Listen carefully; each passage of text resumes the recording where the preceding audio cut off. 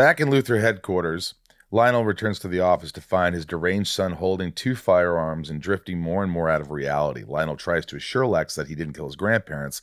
Lex starts waving around his gun more, um, talking about Julian's crying and yells at his father to tell him where Morgan Edge is. I'll tell you what, this was one of my favorite scenes, and it was very difficult to find it because you want to be crazy, but you don't want to go too balls out.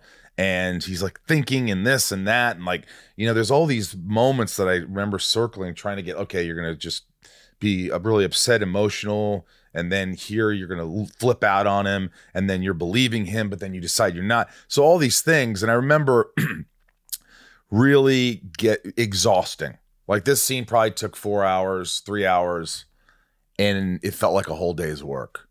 It was just, and then we'll get the whole thing Yeah. on Oprah. And, you know, it's just like trying to, I just remember it was really, really intense. And John just being there, just like watching me. And at the end going, Is this is this the scene that you you've talked about before where he he said, "Are you listening to me?" Is that this scene? no. Oh, no, okay. that was in like end of season two and with the tornadoes. Okay. Yeah. Yeah, that was, that was a really good scene. I'd written down that you were going full Nick Cage in this scene. In what episode? in what show? In, in the- no, in this in this scene. Oh, I went full Nick Cage. Yeah. Crazy. yeah, it was. Yeah, Yeah, it was it was hard, man. And you know, you're in front of the whole cast and crew, and you've just gotta. And Tom, you know, I've seen you do it. At first, you're kind of finding it, finding it, and it's a little like there's a party that's a little embarrassed in a way, like me, until I really fi- find it, and then I'm like, boom, fuck you. Yeah. Now I'm now I'm I'm prepared, and Yeah. I don't prepare for these things other than learning my lines. I find that on the day. I'm going to find that on the day. The level, the loudness, the intensity. You have to let them give you takes to find it. Yeah. You're not just going to do it on take one. Um, it's just not going to. I mean, I, I, it doesn't happen for me. I, I recently did a scene on a show, um, Winchester, I guess it was last year, Winchester's, and there's a scene where my character, you know, has a similar situation where he's he's letting it all out.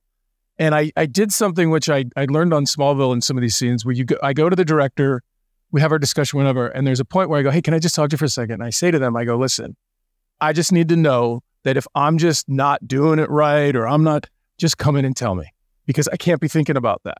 You know what I mean? And usually once the director will come in and be like, I see what you're doing, blah, blah, blah, and helps kind of focus you. Mhm. And that also, because I have that conversation, allows me to let go of trying to watch it Yeah, as I'm doing it. yeah. And so that's helpful to me. That's just a little thing You that know, I one do. thing And that bothered me, I will tell you. I remember specifically, they wouldn't let me point the gun at Lionel's face. They wanted Wow. me to point it down at his chest. The CW didn't want any gun Man. facing the face. And that, to me, took away some of the intensity. Because who would do that? I don't know. I to me, in my mind, I want to be like, F you. I'm going to shoot your face off. And I wanted Man. to do that. And they kept saying, no, lower the gun, lower the gun. I do remember that.